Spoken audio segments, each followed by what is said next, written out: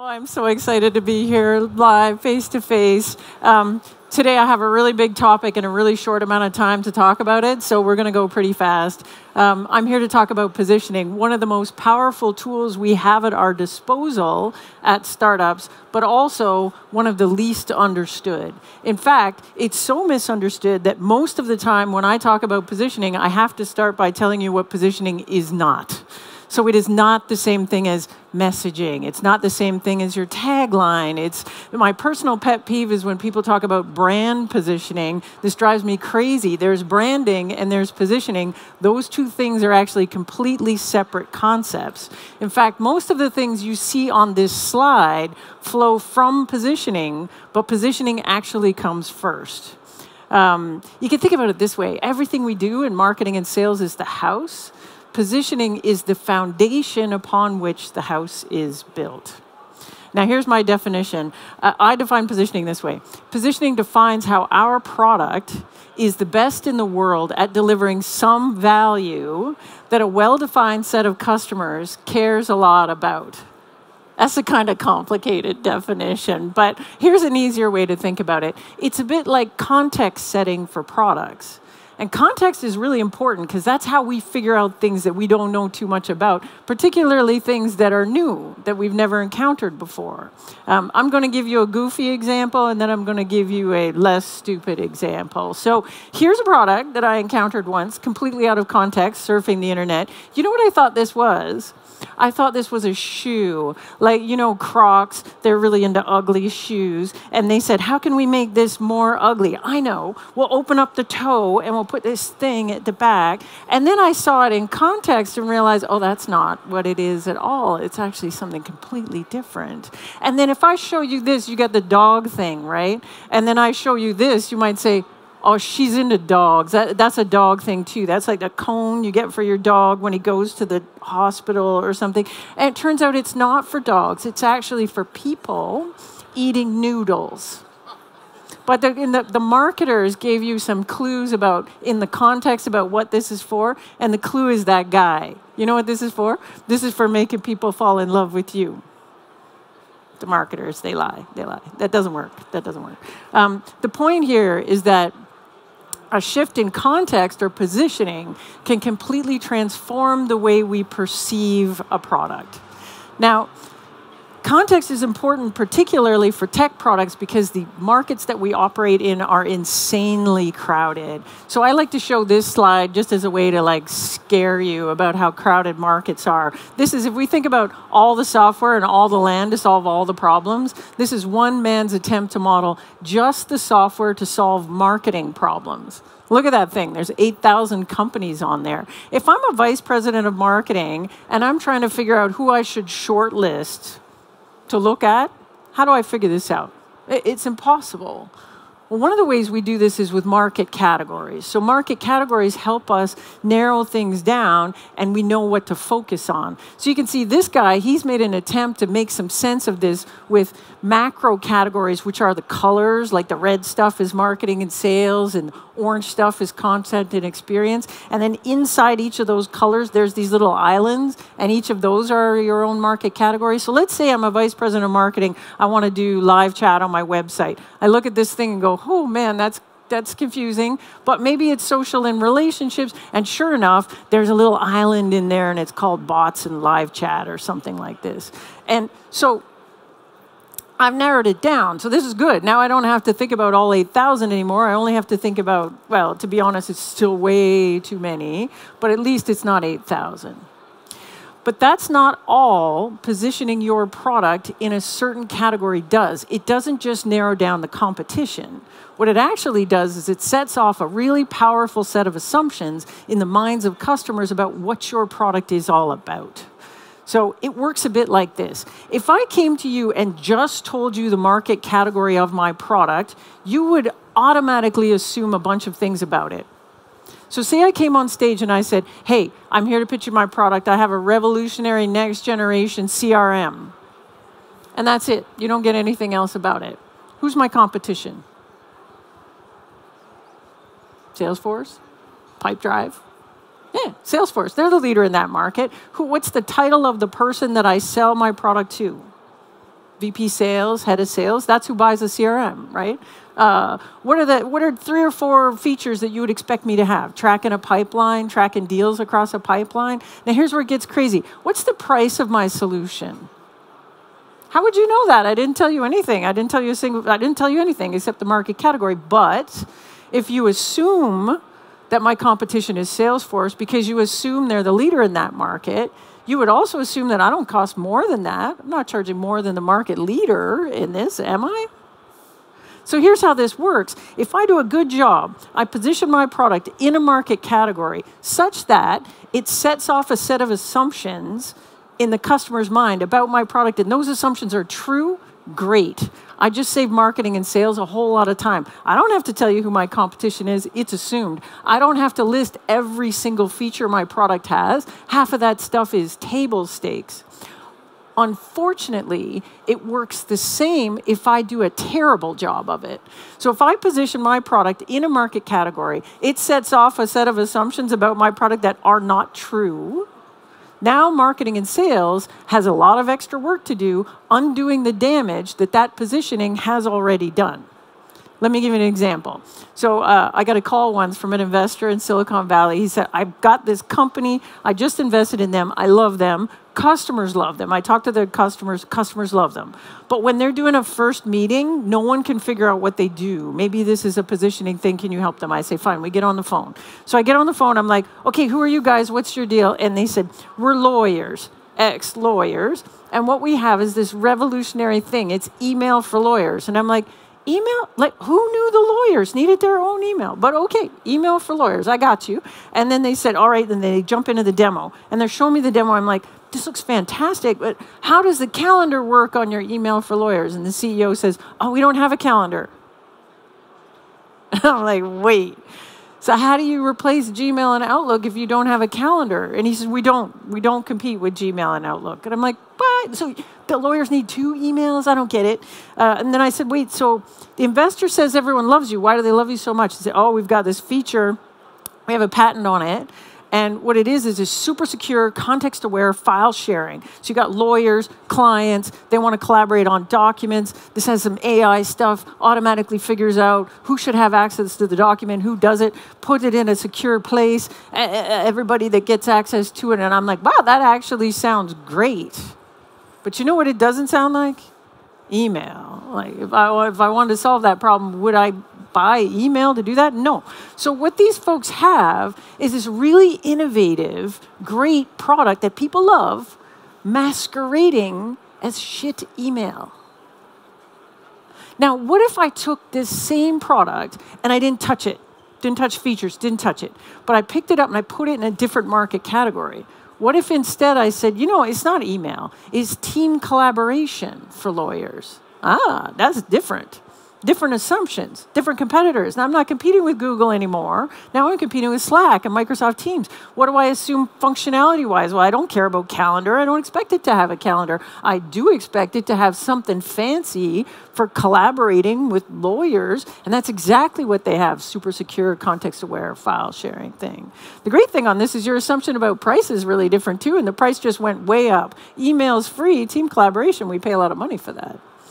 Here's another example. This is a company I worked with in Canada. Um, uh, founded by two guys with advanced degrees in mechatronics engineering. They start a company and they're robot guys and they're making robots. Eventually, they come up with this robot here. What it does, it drives around a manufacturing plant and it delivers things from one place to the other. Now, if you don't know much about robotics, you might think, oh, that doesn't sound so hard. Turns out this thing is a miracle of modern technology. It's full of mapping, sensors, artificial intelligence. It's amazing.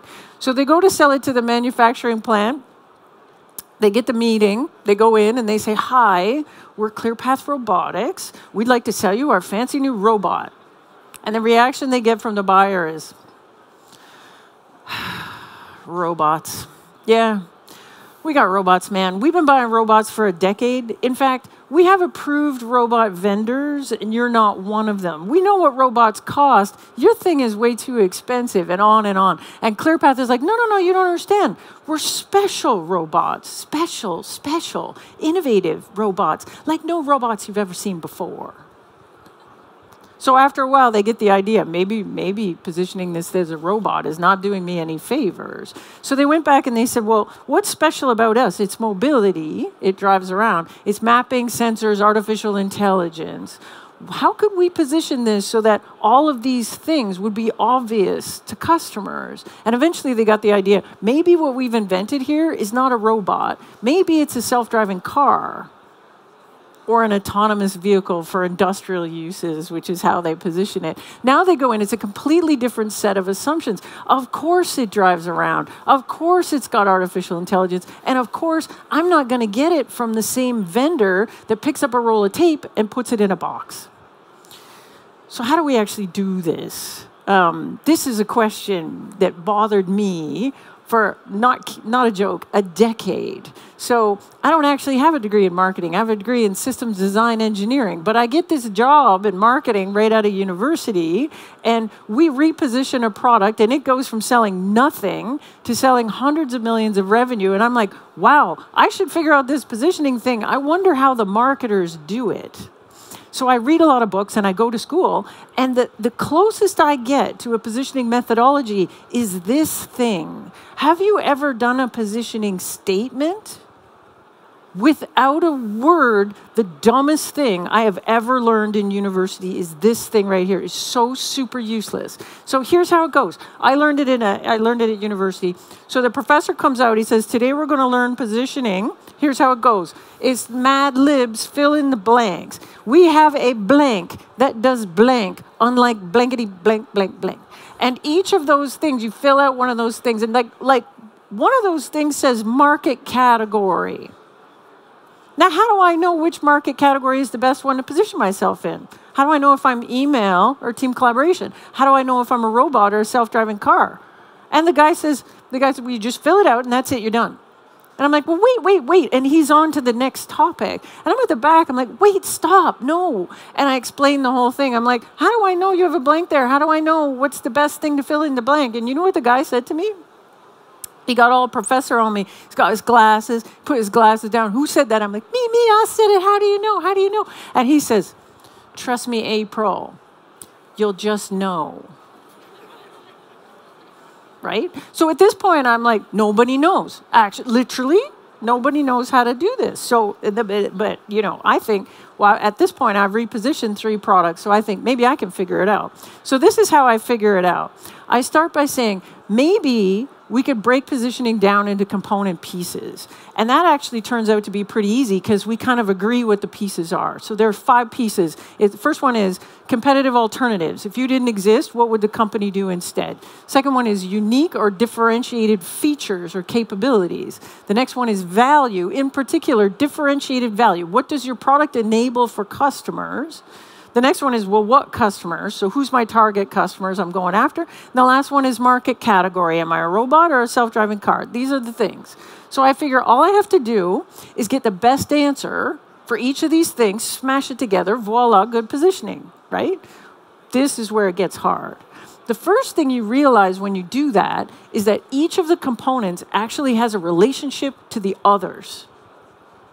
So if I take anything on here, let's take differentiated value. The differentiated value that my product enables for customers comes from what? My differentiated features. That's the only place it comes from. Like, it, we don't get to make it up. It, it comes from differentiated features. But my differentiated features are only differentiated when I compare them to a competitive alternative. Hmm.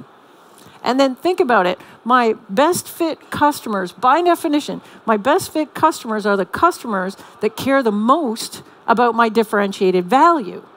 So those two things are related. And then market category, this is a little more esoteric, but my best market category is the context I position my product in such that this value makes a lot of sense to these people.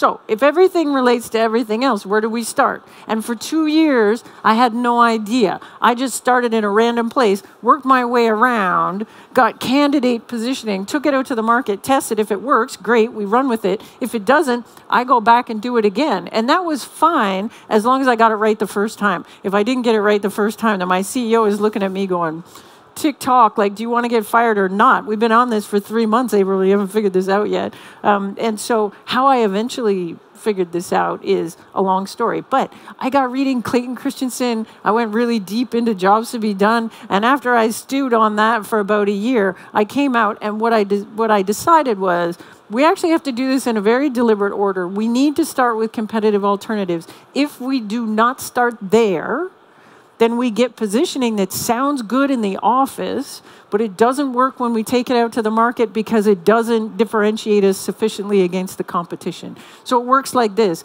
if you didn't exist, what would a customer do?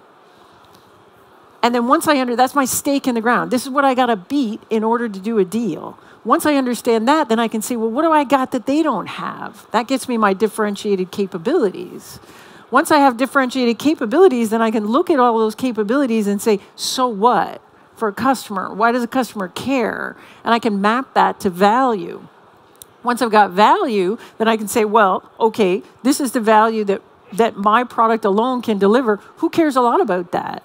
And why? That's going to get me my segmentation. And then once I have that, I can look at market category and say, look, I got this value for these people. What context can I position that in such that this value makes a lot of sense to these folks? Now, there's a million ways to mess this up. The most common way to mess it up is the first step around competitive alternatives. Most of the time, when I talk to companies, they'll come to me and I'll say, Who do you compete with? And, and I have conversations like this every day. I'll say, Who do you compete with? Say, Oh, got all these competitors. Look, there's a million of them, little companies in Silicon Valley nobody's ever heard of. And I say, okay, well, how do you beat them? Well, ease of use. That's our thing. It takes 59 clicks to do their thing, and with us, it only takes two clicks. So we're positioning around ease of use. That's how we win. And I'm like, well, do you ever lose a deal to any of these companies? And they'll say, no, actually, we don't actually see them. And I, oh, well, so what do you lose a deal to? They'll say, we lose a deal to no decision. I'm like, well, if there's no decision, how's the company solving the problem? Well, they're just doing it with Excel or interns or something. Ah, so your competition that you're losing to is the intern. Do you think you beat the intern on ease of use? No, the intern is so easy to use. You are like Joey, love you. Get me a coffee, fill out the spreadsheet, come back when you're done. Easy easy, way easier than your product, right? So if you get the if you're not thinking about this right step and thinking about not just direct competitors, but also, you know, whatever status quo is in the account, then everything downstream from this will be bad. Um, there, there's a lot of other ways to mess this up. I wrote an entire book on this. You could ten dollars and get a thing that it took me 20 years to figure out. The world is amazing. I have one more story to tell. It is an old story, but I still like it, so I'm going to tell it again. Um, so, really early in my career, I got a job running marketing at a company that positioned themselves as enterprise CRM customer relationship management. And uh, at the time, Salesforce was in the market at the time, but people forget this. Like at the beginning, they were only selling to small, small businesses. Enterprise CRM at the time was completely dominated by this giant company in Silicon Valley called Siebel. So we were positioned as enterprise CRM. They were the undisputed kings of enterprise CRM. So, not surprisingly, we get a meeting with a customer and we say, Hi, we do enterprise CRM. And they say, That's great. How are you better than Siebel? And the answer was, we weren't. Like, we pretty much just weren't better than them in any way you could measure. Like, they had 8,000 employees. I was employee 20. They had 2 billion revenue. We were doing 1.3 million with an M. They had 400 customers. We had five. Um, but we did have one feature that not only did they not have it, they couldn't copy it. So we could manage relationships in a slightly different way. And it looked really good in a demo. So we always demoed it. So we get in the meeting and they'd say, Well, how are you better than Siebel? And we'd say, Oh, because we got this thing, you know, and then we'd show the thing. It's amazing. And they'd look at it and go, That looks great. What do you do with that? And, and we'd say, Anything you want. Because we didn't know. Like we had the feature, we didn't know how to translate the feature into value. Therefore, we didn't understand who cared a lot about that feature. So, needless to say, things aren't going well. Um, how we actually got out of this uh, problem is is luck mainly. Um, so we hired a new sales rep, and the reason uh, uh, we, you know, we were always hiring sales reps because we weren't selling anything, and then we would fire the sales rep, and then we'd have to hire a new sales rep. So this sales rep came into an interview, and he's from New York, so he's got some attitude. And so he came into the interview, and my CEO at the time also has some attitude. So they sat down together, and my CEO says, give me one good reason to hire you as a sales rep for my product. And the sales rep got all up in his face and said, I'll give you one good reason because my buddy runs investment banking at Goldman Sachs and I'm going to get you a meeting. And we are like, good. Can you start Monday?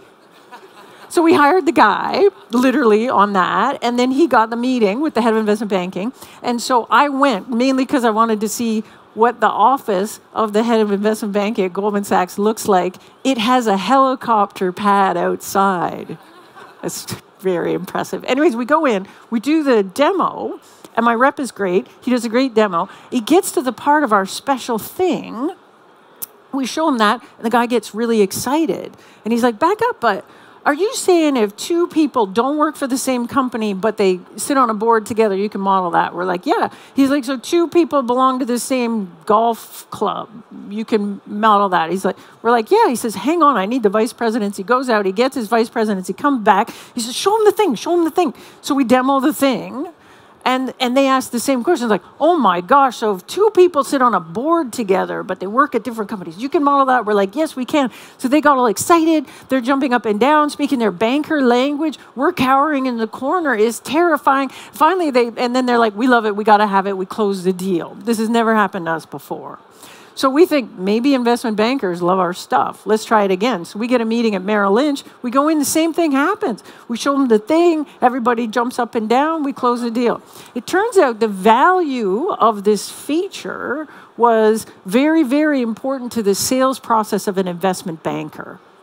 Once we figured that out, then we just spent all our time selling investment banking. So things are looking up. Uh, importantly, it sparked a conversation back in the office about our positioning. Like, are we really enterprise CRM? Or are we CRM for investment banks? Now, the, that conversation, it might sound like a small change, but let me tell you, it's not a small change. So, internally, it took us a long time to get our heads around that. That sounds like a really small market. Are we actually going to grow big enough? Our investors hated it. We go to the board meeting and we're like, okay, we're going to we're going to be CRM for investment bank. And they're like, we did not invest in you to be some nichey little lifestyle business that only sells to what, 12 investment banks in the land. And we're like, here's how we sold it to them. We said, look, we're not going to just sell to investment banks forever. Here's how it goes. We're going to sell to investment banks because, let's face it, we can't sell to anybody else. But we know we can win here. And once we win there, then we're going to use the traction we had there to go sell to retail banking. Now we're positioned as CRM for banking. And then once we win retail banking, then we can use that to go to insurance. Then we're going to be CRM for financial services. And if we win that, that's a gigantic market. And then we're going to be CRM for enterprise. And those Siebel guys better watch out. But that's how we're going to take them out. Board agreed. Uh, we did the repositioning. It was absolutely transformational for the business. The biggest transformation was we never got in a head to head deal with Siebel again. So we would go in and we'd say, We're CRM for investment banking. And they're like, so do you guys compete with Siebel? And we're like, oh, Siebel. We love them. They are amazing. They're so big, so smart. So they're like the world's best general purpose CRM for like call centers and retailers and stuff. Not you, Wolf of Wall Street. You need something special. Let me show you this thing. And then we show them the thing and that would be it. So uh, we went from 2 million revenue to a little over 80 million revenue in about 18 months. And the end of the story was we got acquired by Siebel because they got so sick of us kicking their tail all over Wall Street uh, for 1.3 billion dollars. And the board didn't think we were going to make any money with that nichey thing. Anyways, that's the end. Um, here's three things. Um, positioning's like context setting, and context can kill you if you do this badly. Um, we need to position deliberately. We can't just we can't just assume that we sit in a certain market or that's the best way to position us. Um, and the last thing is, if you're going to do positioning, you can't just you know, you can't just know. You actually have to follow a process. If you want to send me an email or tweet at me or something, here's my contact info. And that's it. I'm done. Thank you.